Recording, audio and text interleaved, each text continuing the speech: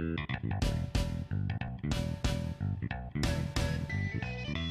to you live to Zoom. Welcome, students, teachers, and those who are just genuinely curious about the American Constitution, its principles, how it functions in the daily lives of Americans. Welcome to the four B's and the Constitution of American life. As always, part of what we want to do just to show you that we're just not, you know, Constitution nerds is to share a little bit about uh, who we are and uh, show you that we have a broader uh, experience, a broader set of interests than just uh, the Constitution and American history. Uh, so uh, I'd like to talk a little bit about what I imagine. This is all my work. What I imagine is everybody's ideal first date. Uh, if uh, you know, back in time when they had the first date, or you know, you know, again, yeah, back in time there as always, we have Professor Tim Moore from the University of Wisconsin Madison.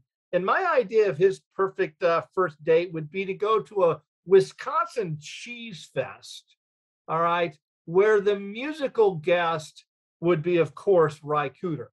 Mm-hmm. That would be his ideal first date. Then we have Professor uh, Chris Kavanaugh. We've already talked about this, that his ideal first date would be, of course, taking his date to a Led Zeppelin uh, uh, concert with hoagies in hand. All right. I don't know what kind of cheese, but he would have hoagies in hand. And then, of course, we have Dr. James Michael Williams. Uh, his idea of a perfect day would be to pick up a six pack of whatever beverage and take that individual uh, and uh, uh drink that six pack on the steps of the Lincoln Memorial while discussing tribal arrangements in South Africa. And then, of course, there is myself, David Richmond, and I would mix some pina coladas, get caught in the rain on my way with my date to the dunes of Pismo Beach. Hopefully, that reminds you of a certain number one hit of the 1970s, which I'm still shocked was a number one hit back in the 1970s. But then again, we could go on hours about the 1970s.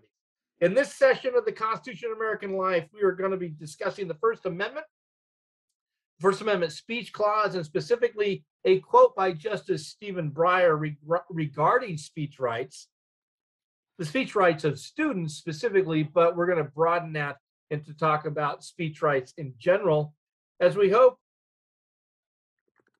we hope that as we get into the discussion, here. We'll also be touching on the social contract as well as are all forms of speech equals in the equal in the eyes of the Constitution. So I'd like to start our session uh, with Professor Tim Moore uh, here. So Tim, you've spent a lifetime uh, studying uh, the founders, framers in the 18th century, uh, uh, and so I was wondering, I was wondering when it came to the Bill of Rights, especially the speech clauses, how would the framers have defined speech all right in the 18th century? And what factors influenced and, and i think we all generally know that madison is the primary writer of this but it has to be approved uh, through the amendment process. What are their influences of why speech has to be a fundamental right? Well uh, in the in, in colonial in the colonial era, the, the primary uh, consideration when it comes to speech is well. Uh, let me let me back up. When when the founders talked about speech, they often would combine it almost synonymous with press. Um, and so uh, even some of the first suggestions uh, that Madison used from the recommendatory amendments from the state conventions they often would put speech and press together. Um, and a lot of the times there was a, a context of political speech. Um, I mean, today we talk about expression. Maybe we can get into that later. Uh, hopefully, we will. But I think to the founders, the, the the context was always kind of political, and speech and press were always kind of in the same phrases that they that they used when they either spoke or or wrote. Um, and uh, one of the big things was when it came to press, in the British context, there were these, uh, there was a set of laws, I think, done in the 1660s that actually set up in England the licensure um, policies if you had a press or if you were going to publish, um, which later became a big issue for the Americans too. Did you have to have a license to be a publisher or, or a printer or have a newspaper? In England, you did. And that was one of the big deals about what they called prior restraint. So uh, speech and press were often seen um, together in a political context, uh, overwhelmingly a political context. Well, you know, so press has an early precedent, and that's the the the John Peter is it John Peter Zenger? Zenger. Peter Zenger. Zenger, that, yeah. That case, and as you said, maybe speech and press are are are you know seen like this. Uh, but is there any kind of precedence in colonial America or any kind of situation that stands out as yeah. an articulation of of why they would? And we can go back to even into England of why speech is considered so so important. Like I said, I the kids can see the connection in press. I'm just wondering if there's the same situation in speech. Um, I would, uh, if you're talking about England specifically, I would recommend a book. And I actually, I know you guys are going to be disappointed, but I have a couple books to hold up here in a little bit. Um, and you know, that's why I had to kill my camera. Here you go, kids. Uh, the Emergence of a Free Press by Leonard Levy is a fantastic uh, text focusing on press. There's information on the Zenger trial in here as well, uh, but it, it goes to, to, the colonial roots of a free press and the importance of it. But I would go back, David, to uh, something called Cato's Letters by uh, two guys, Trenchard and Gordon. And um, I'll make sure I get to, to the reference on that so we can list it. And Cato's Letters, um, published in England uh, prior to the revolution, are, are really uh, interesting pieces in advocating for individual liberties, including uh, free speech. So um, there are people writing um, in England prior uh, to our ratification of our First Amendment, prior to the American Revolution, uh, advocating for free speech. Cato's letters, Trenchard and Gordon. So, Chris, and, and one, back, one more quick one more quick thing. Um, often petition comes up a lot in the colonial context um, and uh, more so than, than we probably would think in uh, in our day and age right now. But petition ranks up there too. I mean, and that has a long British tradition. There were even rules about how how you went about petitioning. Um, and uh, Blackstone talks about the uh, the number of people. You can't have more than twenty uh, sign a petition, and then you have to have a couple magistrates sign on to it. So there was a whole raft of rules about in the English context of, of petitioning too, but it ranks up there big in the American mindset because they're trying to petition. And in some regards, they're petitioning illegally because uh, they're not going through the, the normal hoops that most British people had to go through in England if they petitioned. Uh, Blackstone made a reference to something I, I think he called it literally tumultuous petitioning uh, like if there were too many people uh, on this petition or they hadn't they hadn't got the magistrates to sign. So but petitioning is another one of those things that ranks right up there with speech and press when they when uh, british colonials and early americans talk about these rights. Mike i couldn't tell if you wanted to jump in or or not. So well i, I guess you know try to try to end this this topic. Is is it is there any specific well, let me ask you does does england have some kind of common law uh, notion of free speech within their system? I mean i i understand contemporarily they obviously you know don't have an enumerated you know you know statement of free speech like we do but is is it a is it a, is, is it by the 17th 18th century tim? Is it part of the british political culture I think they tend to see it more that if people have this freedom of speech, as we would call it, they would configure it within the form of petitioning. Okay. Uh, they see it much more collective in that sense. And so, uh, all that to say is there's not this individualized the way we see it. There's not much of an individualization to how they configure that right. It's more of a collective. So, so Chris, at some point in our constitutional history, and and this has been a bug up my backside for a long time but uh, speech along with other rights uh, were got folded into this new concept known as expression. The, and, and that is that is this term that we hear all the time now, freedom of expression. Well, the First Amendment doesn't say that. It says you have speech, petition, assembly, press, you know, but they folded into expression. And my sense is is that by doing so, they went way beyond the intent of the framers. Do you agree with me? Disagree with me? What do you think about that? That by calling it an expression, we've broadened it so much. Well, I think I think as I understand the uh, liberties you just mentioned, Dave, in the First Amendment, I think they're there. Those are there, honestly, in, in my understanding. I'll let Tim correct me here, but those are uh, really your po- political rights. These rights are going to allow you to participate in the political arena at the time speech, press, petition, and assembly. And listening to Tim, I was just thinking of the English petition of right. I mean, it's called the petition of right. So I think that's an important, maybe an important document for the, the students to check out.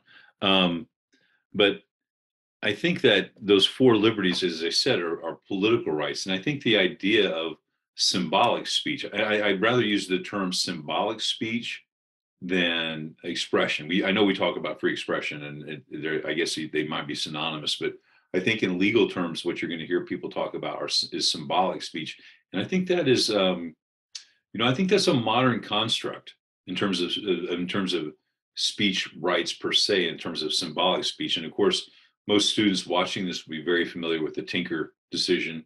Um, the Texas versus or the Johnson versus Texas decision on flag burning, uh, another very important. But these are uh, much more a 20th century construct, and, and, probably coming out of the fact of uh, uh some of it coming out of the Vietnam War. Right, uh, think of Cohen v. California, which the young man was wearing the jacket with the F word on it about the draft. Some very important uh, expansions of speech rights, but I think I would use the word symbolic speech. And I think, yes, Dave, I would agree with you that it's probably moved away somewhat from what the framers uh, of the First Amendment or uh, Madison intended. But um, I'm not sure that that's a bad thing, right? Uh, understanding the power of mass communication. That I mean, granted, you know, you could, you know, write a pamphlet in the 1780s or the 1790s and it would be distributed, but it's not the same as say the 1960s or the 1970s. Well, and again, both Johnson and Cohen do focus on, to me, political speech. And and again, yes. check me if I'm wrong here.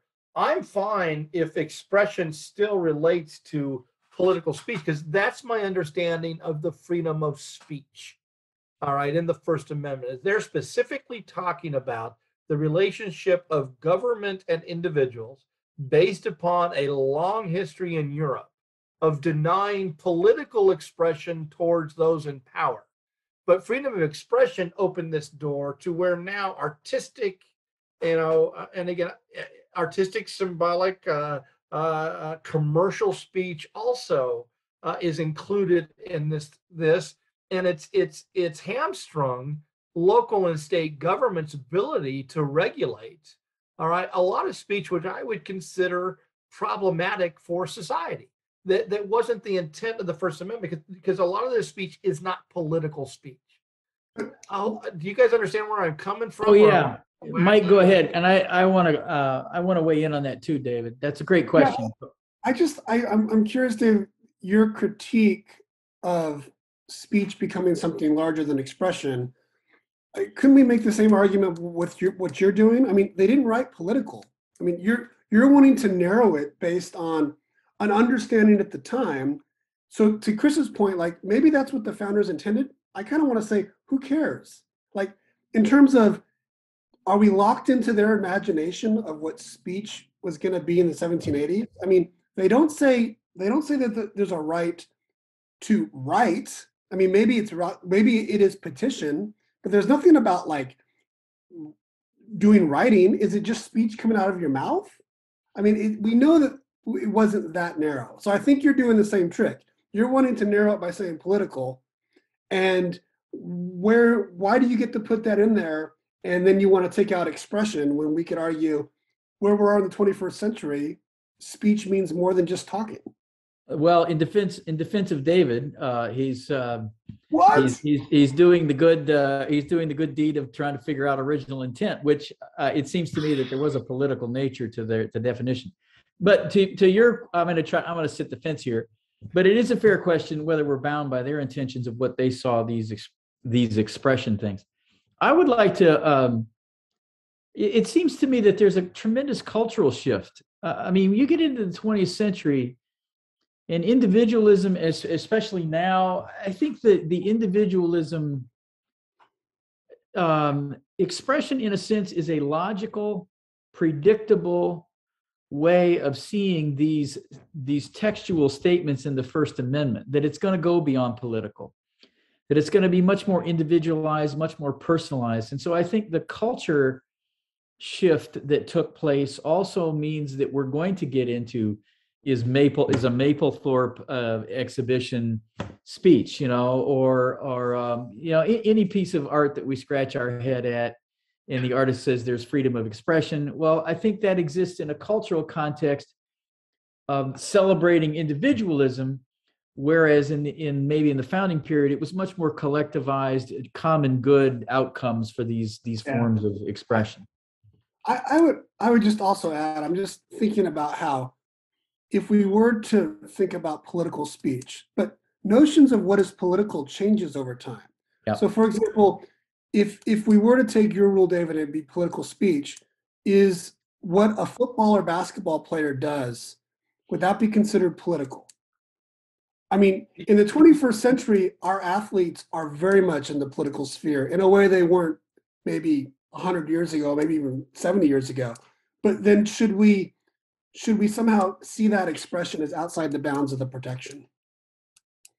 Well, I guess you're giving me kind of an Aristotelian view that everything we do is political. All of life is uh, political there.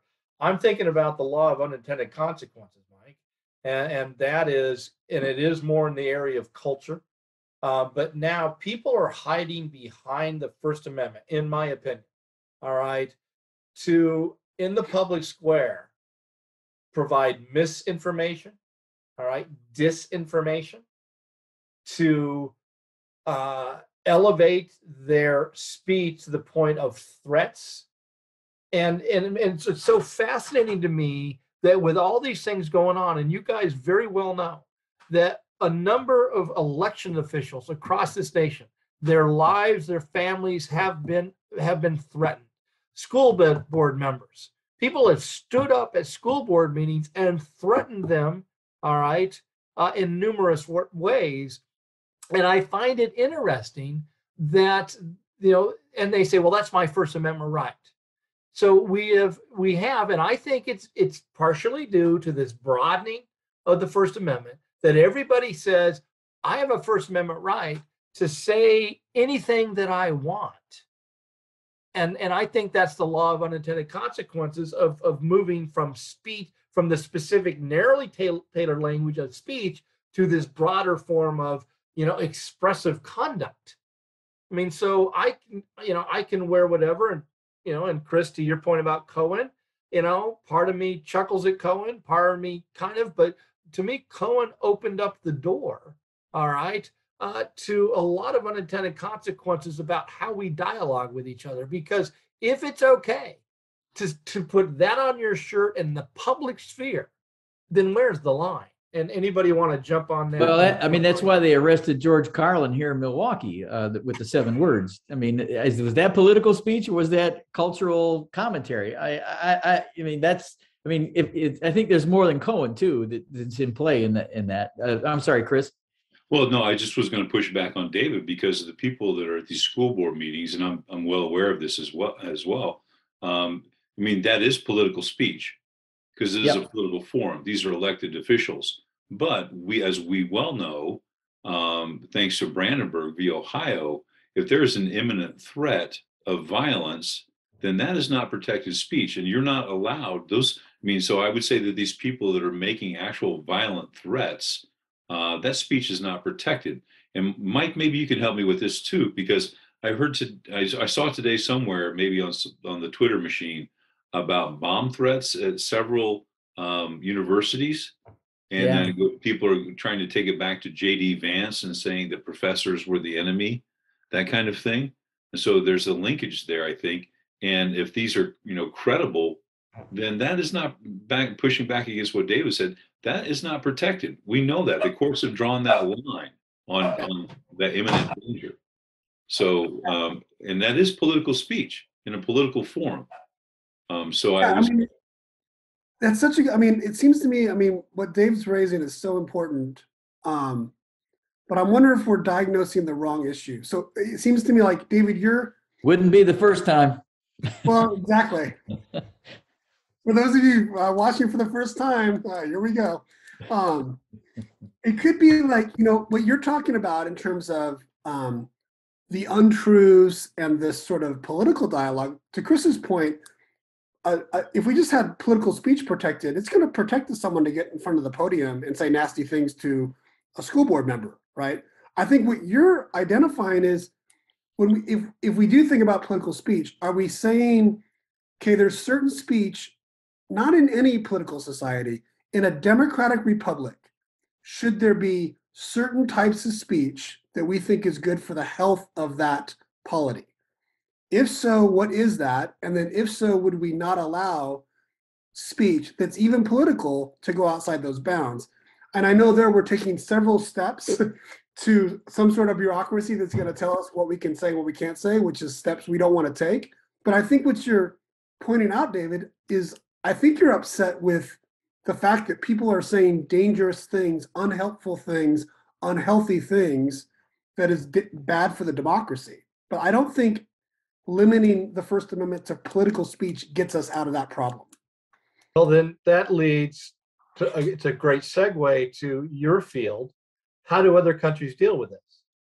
All right, from a comparative point of view, I mean, I know Eng- England has no enumerated right to free speech. England can suspend, you know, any any speech they want at any time. Now, culturally, at least in the last hundred years, they've been very hesitant, except you know during wartime, Yeah. which is a whole nother subject. But but you know, generally, in fact, I'd say they have, you know, at least before modern technology, England had more free speech on the streets of their cities than the United States did.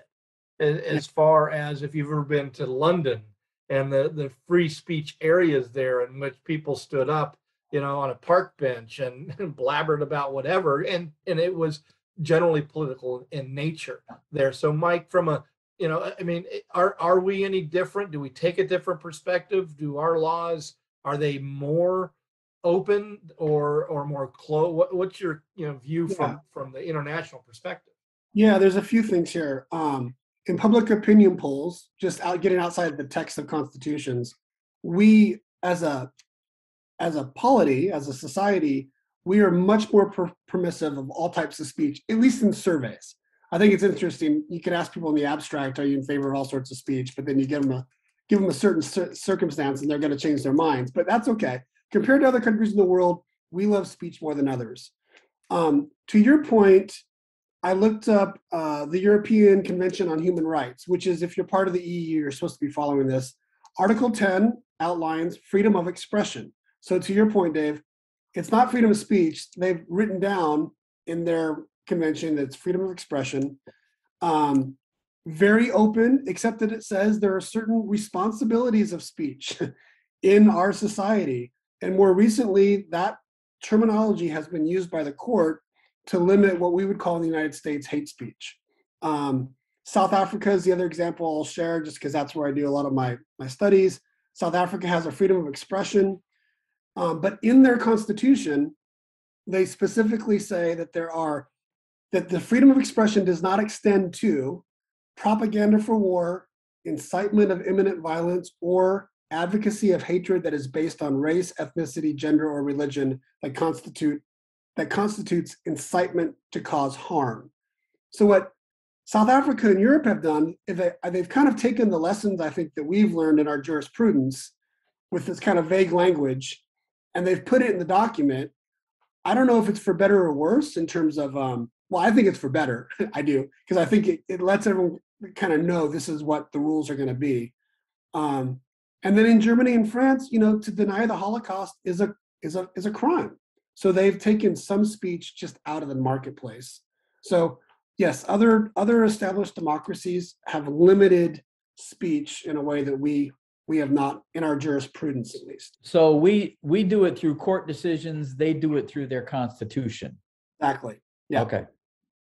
So, well, I'm wondering what you guys think because I happen to like it. Germany forbids certain elements of symbolic gestures and certain advocacy of ideas, specifically National Socialist ideas, you know, going back to uh, to Hitler. Uh, and that's what I'm talking about. To me, that's a rational historical experience in which they said, you know what, we believe in free speech, but there's going to be this area. We don't have the equivalent, Mike. And, and the rest of you, I don't feel that we have the equivalent, especially now in this chaos of what we're experiencing today. We've got really no limitations whatsoever, whether it's hatred, advocacy of ideas that, and again, I hate to go back to the Cold War and, and now praise some Cold War decisions, but you know, I, part of me's thinking maybe they got it right. Uh, Tim, you look like you're ready to jump on that. Yeah, I've often, for many years now, I've wondered whether uh, the marketplace of ideas has actually served us well. Uh, I think this, I, this, I, I think this kind of dovetails to your question, David. Um, if, and, it, and maybe in some sense, it shouldn't surprise me that in America, a capitalist society, uh, free markets, that we would have come up with a kind of an economic concept Mhm. The marketplace of ideas. Um, you know, and it's just a smorgasbord of words, expression out there. So I think I, I really do wonder whether that framework has served us well because we all know that some some things in the marketplace are crap, and you'd never buy them.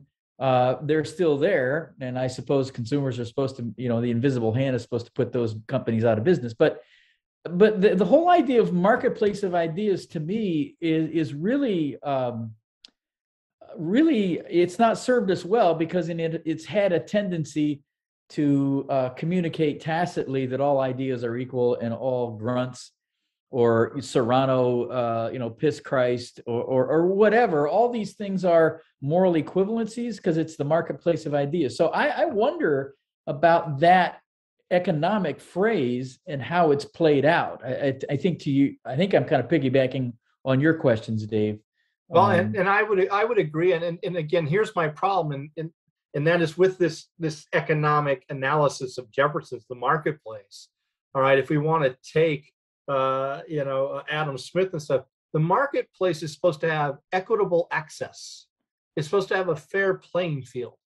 And one of the things that we've seen in in in, in our history, not just recently, but throughout our history, when it comes to freedom of speech or expression the playing field is not level and access is not level because the wealthy have more control over the means of communication. All right? And and then if we do go into the most recent era they are able to manipulate that and there's nothing that we can do about that because of this romantic notion by jefferson in the marketplace Yeah. uh and, you know so that's my my take and i i agree with you tim there's there's a problem with Jefferson's notion of the marketplace. Well, I, I I've got to jump in here because I I understand what you guys are saying, and I'm I always think of when I think of marketplace of ideas, I think of Justice Holmes' dissent in Abrams v. U.S., uh, where he switches, uh, you know, from writing the opinion in Schenck in 1919 to Abrams, where he's he writes the dissent in, in the market, and he doesn't call it the marketplace of ideas, but that's what comes out of his writing is a marketplace of ideas. Um, and this is my cue to hold up another book for students. Sorry, uh, because I think it, it's a great case study to see how Holmes changes his mind in a matter of months, from Schenck to Abrams. Of course, this is the Sedition Act we're talking about now, so we're talking about wartime powers. But uh, this is a book. Hopefully, kids can see it. It's called Free Speech in the United States by a guy named Zechariah Chafee Jr. It's originally published in the 1940s. Uh, this is a 1967 version. It was Chris, hard- Chris, can I ask, does it have pictures? um, Uh, sadly, David, no. That's Miller v. California. You're looking for Potter, Justice Stewart. So, I'm um, sorry, go ahead. No, uh, that's uh, and students. That's a great uh, case on uh, pornography, and, and I'm sure that hopefully your teachers have told you Justice Stewart's famous line about pornography. He's not sure what it is, but he knows it when he sees it. But um, Zechariah Chafee has written extensively, has written extensively on the idea of free speech and coming out of these sedition cases, along with Schenck, uh, Eugene, the Eugene Debs case, and others. And I think he has a huge influence on uh, uh, on Holmes and getting him to change. But here's the problem with the market, or the, here's the problem with what you guys are advocating, at least as I see it. Leadership changes, right? And we see right now there's a, the, a you know a struggle for the you know the leadership of our government and control, and we see this at the state level as well. What happens when you know uh, we get leadership that will limit what we think should be protected but will allow people to, carry tiki torches and chant Jews will not replace us. As much as that is vile and reprehensible and a terrible thing, um, I you know I, I I worry who sits in judgment, who becomes the arbiter of what is allowed and what is not. I and and you know what happens is in this marketplace concept, we'd like to think that when we get this hateful, bigoted speech, that the oxygen has been removed from the room. But the trouble is, we get people in positions of power that put oxygen back into the room that allow uh, this this stuff that we would like to see go by the wayside as a you know uh, like Coke Zero or something that doesn't get purchased anymore. But when we pe- have people in leadership that'll put that oxygen back in the room to allow those flames to come in, and I've always advocated this: the First Amendment protects your right to be a racist. It protects your right to be a homophobe, an Islamophobe. You you have the you have that ability under the First Amendment. We may not like it, but the thing is, we have to create the the public spaces that don't allow those ideas to thrive. And unfortunately, we are in a position right now where we have leaders that again have pumped that oxygen back into the room. So I worry about who sits in judgment of what is allowed and what is not allowed. I think it's a, I think that is a slippery slope. Does that make sense? Yep. Yep. Mike, do you want to jump in on this? Yeah, I mean, I just, I'm, I was still thinking about this marketplace of ideas as an economic concept, and someone mentioned Adam Smith. Adam Smith also wrote this uh, book called Theory of Moral Sentiments, Well, sound right? Yeah. And here's You where have a my, copy to hold up? I don't, no, Okay. sorry. Um, I don't even have any money to hold up. I can't even show I'm a capitalist. I got nothing. Um, Well, I think you're probably getting a check from Dr. Pepper, aren't you? I, I should be. I should be. And in and out for sure. Um, but here's, I mean, I look. I really struggle with this because I agree with you to a point, Chris. I I do also think about like this idea of like this idea of virtue. This idea of like, um, we for our democracy like this the whole point of this is for our democracy to thrive right? I mean that's that's the that's the end product. And there needs to be a certain limit in the marketplace. I mean the marketplace someone makes the rules. We we don't allow we don't allow each other to sell human organs right? And it's not because we couldn't make money off of it it's because we there's certain things we say we're just not going to allow it because that's not the kind of society we are. Now I can say this, where my argument breaks down is that our founders are not the role models of what it looks like to be holding up virtue and maybe moral sentiments because you know they're writing the most most vindictive, mean um, public discourse, public political discourse at the time. So I don't have a strong footing there, but I do think that we are saying things and doing things right now that I think are outside the bounds of what we should be saying and doing in a healthy democracy. I don't know if we want to create a bureaucracy to to um, police it, and maybe this is where we segue back to the schools. I don't know. It just seems like Pandora's box has been opened, and we are now dealing with some very dangerous rhetoric um, that that um, I don't know. I don't think bodes well for the democracy. Well, you're absolutely right. This is a good time to segue because uh, the students are asked to deal in a more more specifically with schools and to respond by a quote uh, from uh, the Mahoney Area School District uh, case of 2021, the most recent case, I believe, with a student speech, a quote by Justice Stephen Breyer, where he says, We do not believe the special characteristics that give schools additional license to regulate student speech always disappear when a school regulates speech that take place off campus. So kind of we're dealing with social media and stuff. That's that's the essence of the case. But I want to go back to what is considered the landmark case, uh, I think, in, in student uh, rights. Uh, and Tim, that is Tinker, Tinker v. Des Moines. And I think Chris has already mentioned uh, that case. Do you feel it deserves that uh, elevated title title as as landmark case? And the reason I ask that is, as I wonder, did it really help establish student rights on campus if, if you really studied that case? What are your thoughts about Tinker?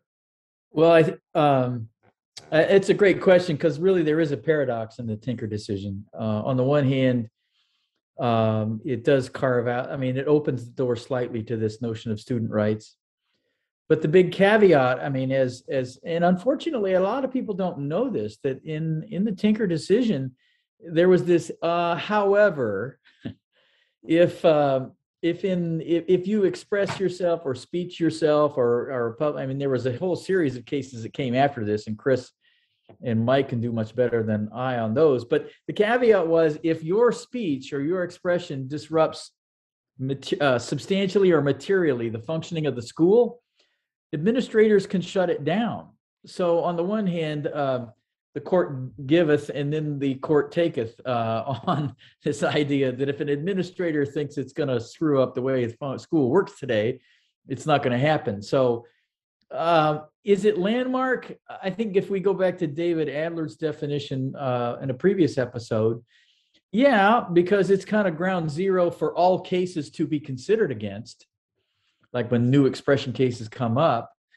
Uh, so I think in that sense it's landmark, but it I, I'm not willing to suggest it's all that in a bag of chips in terms of student liberty and rights because of the caveat. I mean, wasn't that the essential issue in the bong hits for Jesus case too? Um, uh, but yeah, I think it's a mixed bag, David. To answer your question directly, Chris or uh, Mike, uh, thoughts about Tinker?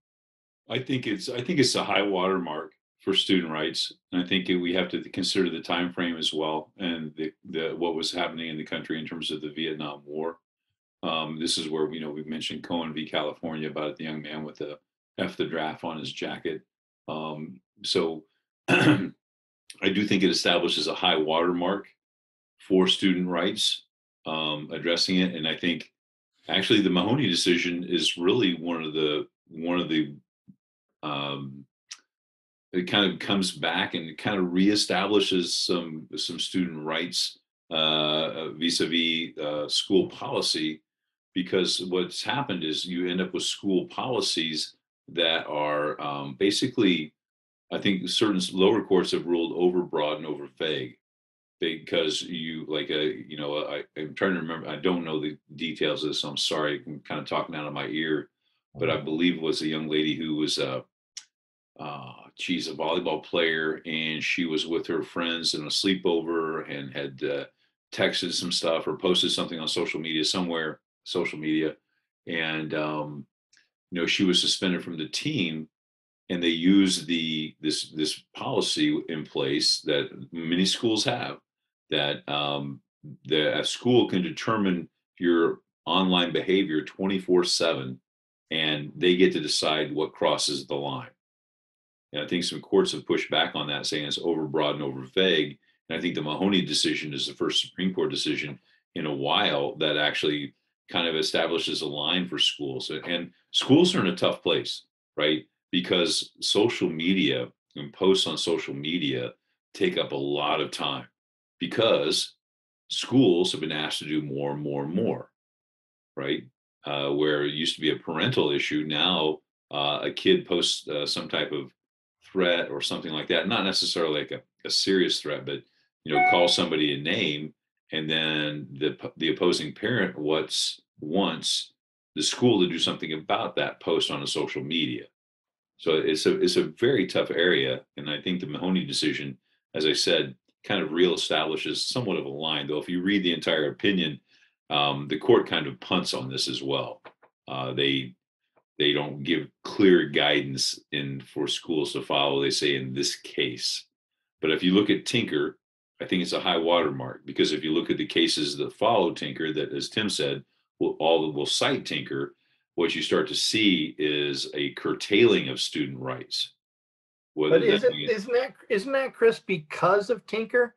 I mean, I think I think Tim yes, mentioned it that there's there's the poison pill. it is it's exactly what Tim mentioned. There's the however because right. what how, how, the courts have been able or how the schools have been able to do it because they've been really proven that that speech, whether it's a 14 foot banner that says "Bong hits for Jesus," right, or in the Bethel v. Fraser case, or in the Hazelwood v. Kuhlmeier case, which is a, more of a student press case, they the um, the courts have said basically that you know the schools get to decide if it's interfering with the educational process.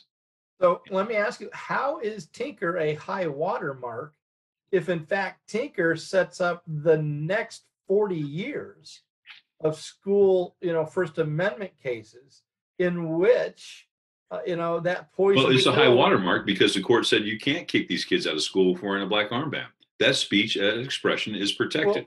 Well, well why not? So that's why it's a high watermark. But then, when the however part and through time, what you start to see is a curtailing, which means the water is receding. In my analogy, Mike, you look like yeah, you I, want to jump in.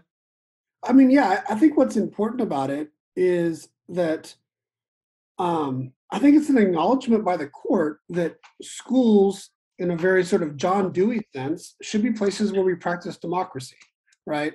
They're they're not just places where we're teaching the widgets how to be widgets. Like we want people to be critical, thought-provoking citizens. And I think that without saying anything, right, the right wasn't there. So Tinker says, look, the right exists. And and I would I would push back I would push back on establishing a line a little bit to Tim, but I agree that how that line was drawn, maybe school administrators didn't draw it the right way, but I think that's what constitutional law is all about. I mean, in terms of, I would not want the rule to be freedom of expression exists in schools no matter what.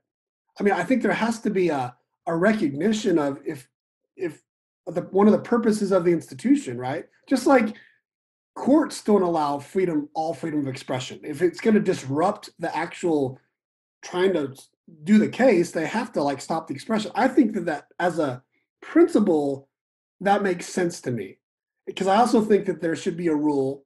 Nah, I'm not going to go. I'll go there. This is not really what I believe. But should we allow speech up until when it disrupts disrupts the health of disrupts functioning? Yeah, disrupts. ah, okay. There's a word for the day. Are we filming? Can we can we cut that? Are we, can we cut? I don't know. I'm about to be apoplectic, but go ahead. I am too. It's swell. Um, I just think that there should be some lines. There should be some lines, and I have no problem with so, the principle of the line. Well, did Tinker did Tinker kind of put school administrators in the role of determining appropriate time, place, manner? This is this, that's a that's a great point because if you listen to the oral arguments in Morse v. Frederick, which is the Bong hits for case, Bong hits for Jesus case, which in addition to getting to listen to uh, uh, notorious RBG talking about bong hits, which is just in itself kind of entertaining.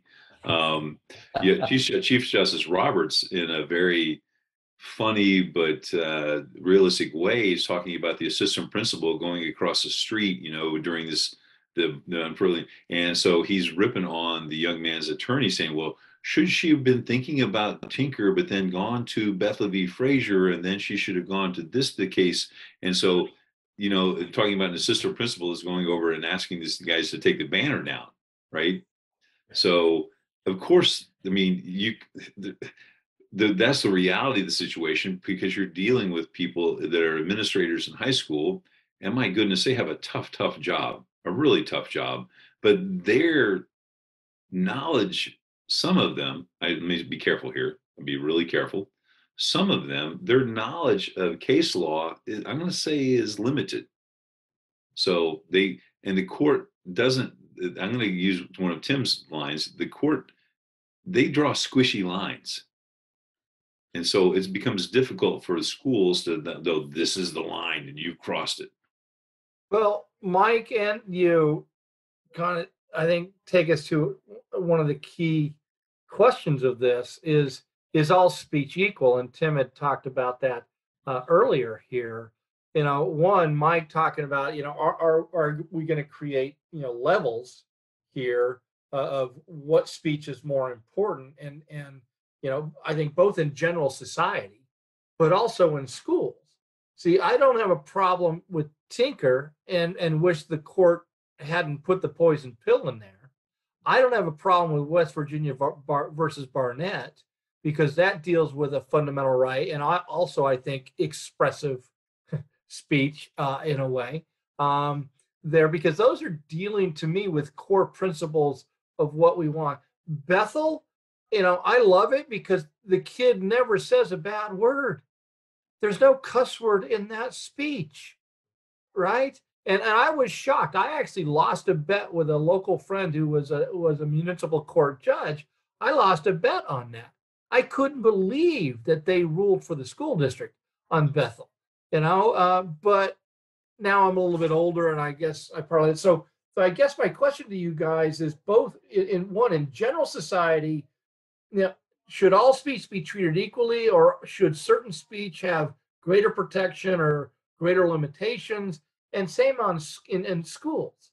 You know, it should. You know, if if a kid wants to make a speech or an expression about the school dress code, about other policy of the school, to me that's political.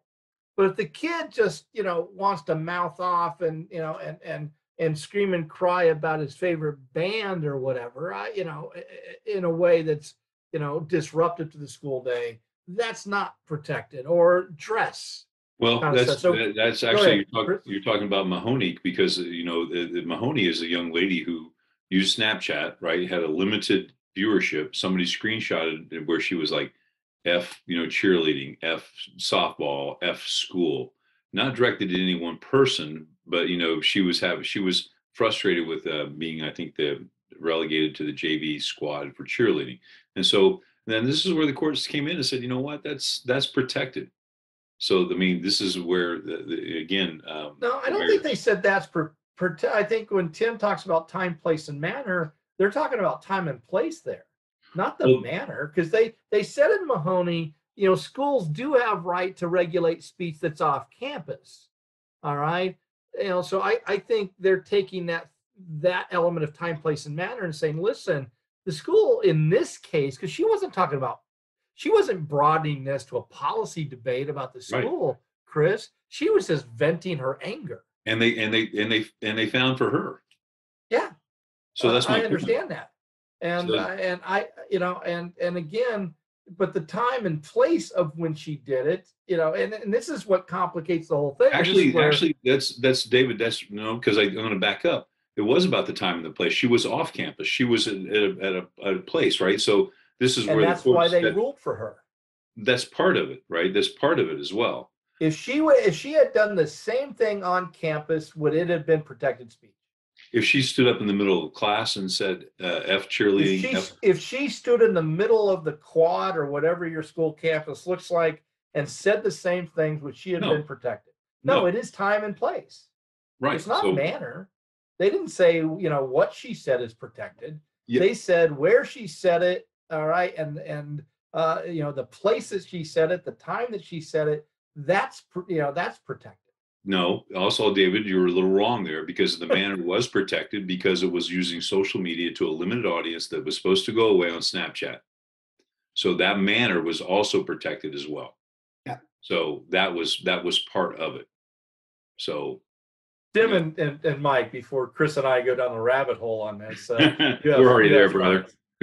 no, I mean you're, you're asking us to imagine if some speech, well, the question says, "What forms of speech deserve greater protection?"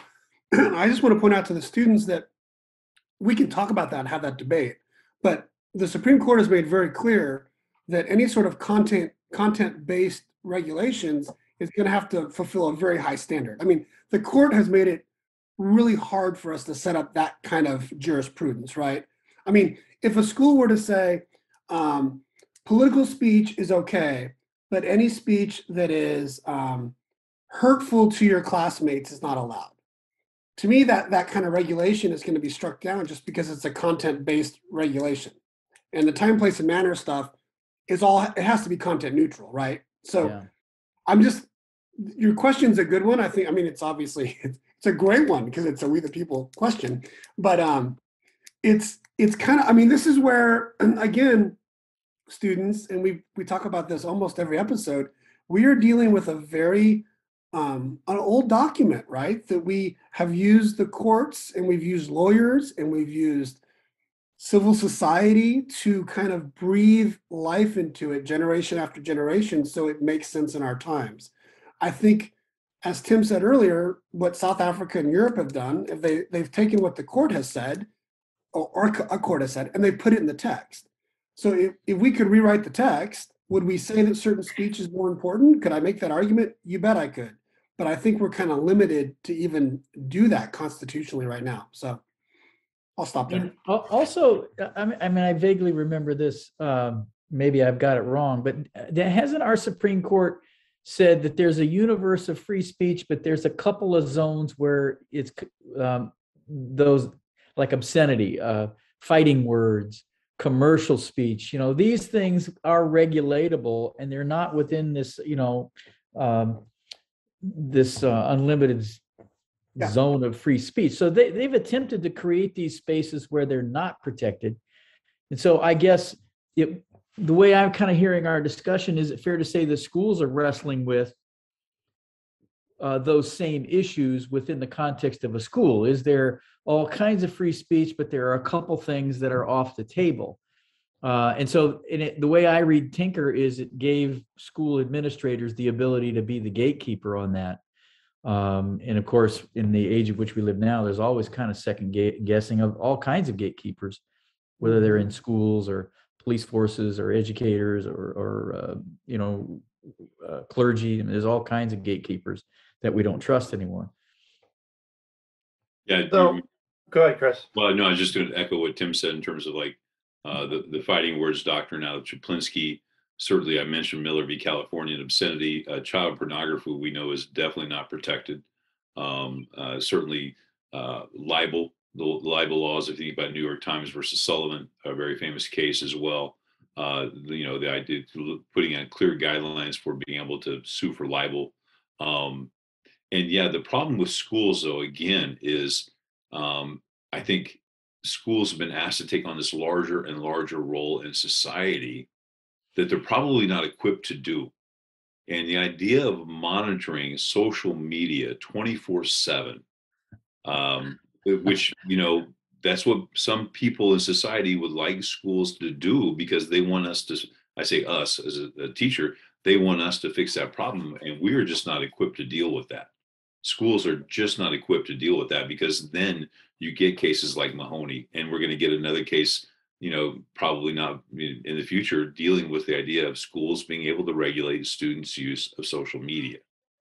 Uh, and Mahoney is not a bright line by any stretch Well, of the imagination.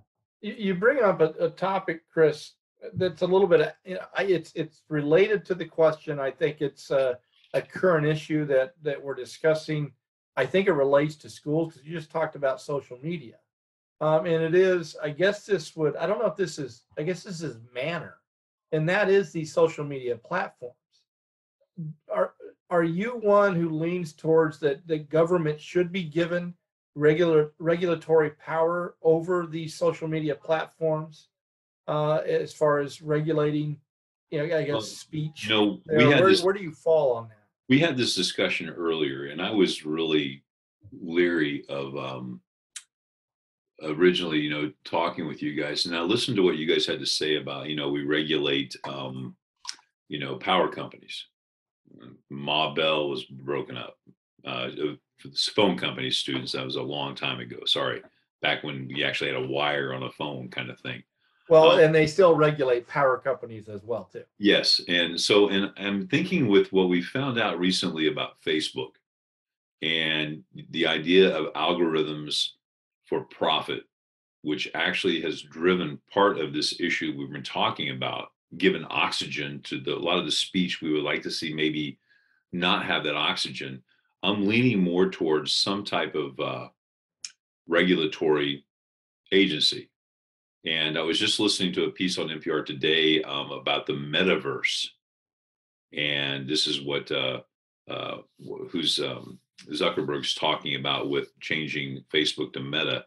And uh, a scholar was talking, and I don't know who it was. I'm sorry, it was on NPR, but uh, it was very leery about one company controlling this because, as we've seen, Facebook was more than willing to put profit over the the people. And so I'm leaning towards some type of, and I don't know, man, I'm I'm I'm like feel com- so conflicted in this. Um, but when you're putting profit over the good of the society, um, I think that you're looking at some type of regulation. Well, we were able we were able to regulate, you know, back at the early um, 20th century, uh, and, and we were able to regulate the three major networks. I mean, Public arguably airwaves. that's why we Public had the airwaves. Federal Communications uh, Commission. So it, it seems like there's precedent for us to think about regulating a monopoly of communication. Uh, we did with the three networks. Great point. Yeah. Mike, any thoughts about uh, social media? Because it is the it is the primary platform of expressive of, of speech and expressive you know action in some ways. Uh, there are are, you know, expressive speech uh, in many ways. Any thoughts about that? Yeah, I mean, I, I just keep coming back. I think to one of the first things Tim said as we got started, we was talking about the United Kingdom, about how speech there has always been more of a collective theme, right? Like thinking about the collective, and it just seems to me like we've all kind of been bringing this up. Where is, how do we balance sort of the societal sort of needs and, um, and I know I think Dave, you'll disagree with what what I'm about to say, but I think I think words matter. I think expression matters. I think it has an impact. And I think when I think about what Chris said about Facebook and one of the revelations that came out with this research is that they knew that what they were allowing was causing um, mental anxiety for teenagers. They knew it and they wanted to keep doing it because they want those eyes on that, because they want those eyes on it to get the parents' eyes on to buy stuff, right?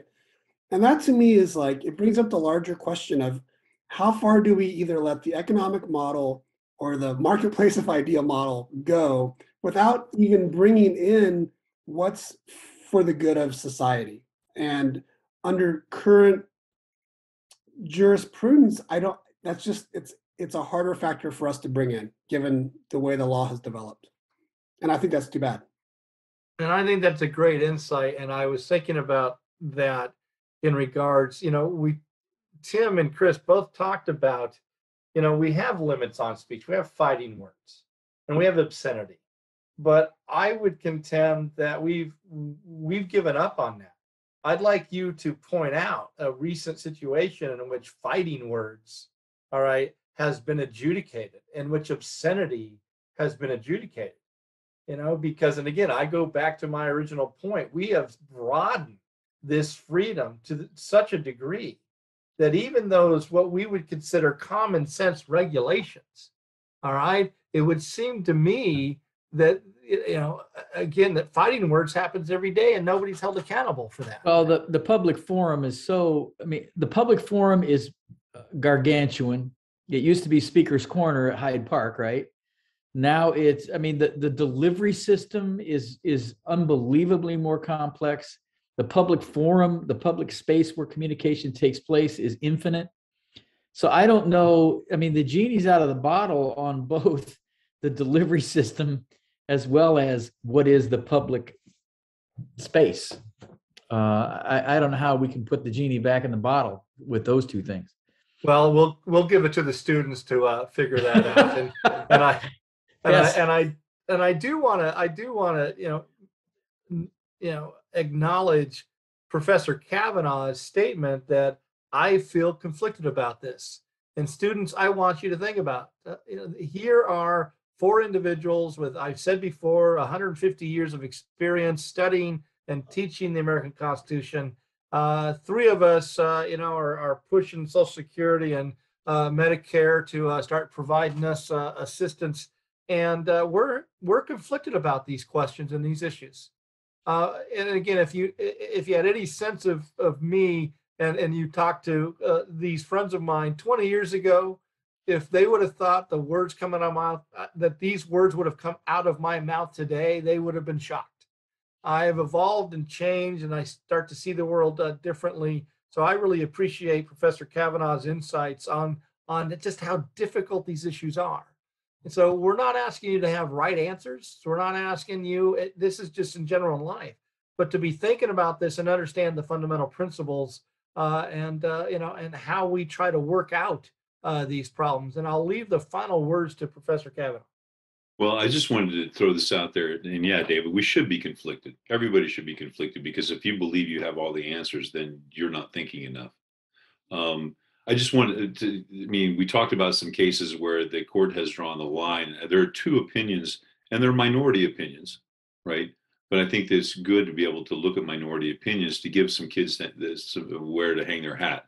Uh, I would go back to one of my favorite justices is Justice Jackson in a free speech case called Terminiello v. Chicago. And he writes a minority opinion. He so he loses, and this this guy uh, Terminiello is is I believe is a Chicago statute that was restricting his speech was unconstitutional. And the majority agreed, but Justice Jackson had a famous line in this case and said the Constitution is not a suicide pact. And what he meant by that is we are not going to follow everyone's individual rights to the point where we're in a state of nature there has to be a line drawn somewhere. And I would go to one of my ju- the justice who's not on my list of favorites, and that's Justice Alito in the Snyder v. Phelps case. And that was the case where the Westboro Baptists were protesting a soldiers' funerals, which is like, in my my personal opinion, as we're coming up on Veterans Day, uh, one of the most reprehensible things that people could do. Right, and and you students, if you've not looked at Snyder v. Phelps, you should check it out. And it's this is very powerful stuff. But Justice Alito, in his in his dissenting opinion, again not of the majority, said we've got to draw the line somewhere, right? The idea that yes, we have a marketplace of ideas, but let's let's there's we could agree that this is so reprehensible it should not be protected. So just two dissenting opinions, students to look at: Jackson and Terminiello v. Chicago, which I believe was in the 40s, uh, 49, and then Snyder v. Phelps, which is a much more modern case, Justice Alito check those out. So it'll give you a place to hang your argument on for limiting things. So there's your homework assignment, uh, students. We hope we have given you uh, some things to think about and uh, given you an understanding that these are complex issues that are not easily uh, solved, uh, uh, nor is there any any any easy answer. We look forward uh, uh, to seeing you next time, and we will be kind of continuing on this theme, looking at uh, uh, Unit Six, Question uh, One on liberty, and in some ways, uh, speech liberty uh, there and citizenship. So until then, peace, love, yogurt tacos. Bye bye, bye bonds.